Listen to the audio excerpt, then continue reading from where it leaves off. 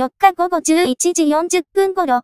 東京都港区の TBS 敷地内で車が襲われていると110番があった。警視庁赤坂署によると、タレントで映画監督のビートたけし、北野たけし、さん、74歳、が乗った車が、鶴橋を持った男に襲われた。駆けつけた署員が千葉県の40代の男の身柄を確保し、